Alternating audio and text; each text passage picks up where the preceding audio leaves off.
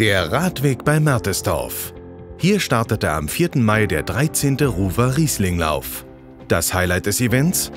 Der 10 Kilometer Hauptlauf.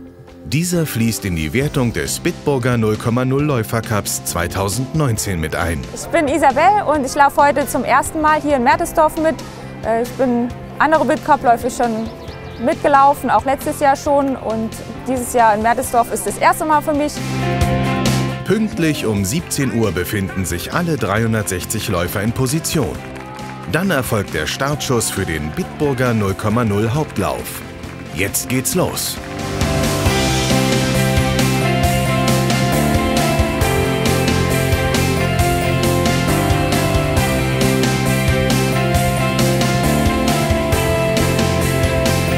Wie jedes Jahr führt der Lauf seine Teilnehmer durch die Orte Kasel und Waldrach. Doch das sonst so schöne Ruwertal wird diesmal zur echten Herausforderung für die Läufer.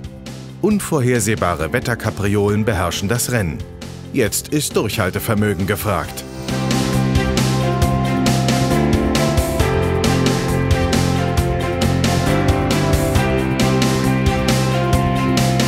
Bei den Männern kann in diesem Jahr Martin Müller vom LG Meulenwold Föhren den Lauf für sich entscheiden. Natürlich hätte ich nicht gedacht, dass ich heute hier gewinne. Heute Morgen auch nicht so gut gefühlt für diesen Lauf, muss ich auch ganz offen sagen.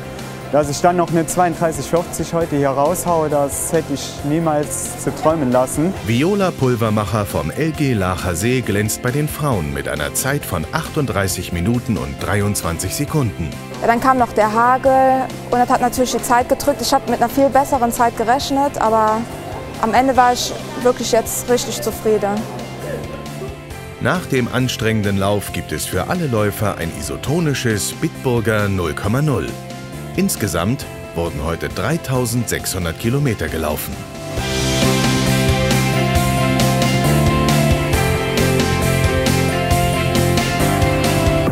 Bitburger 0,0.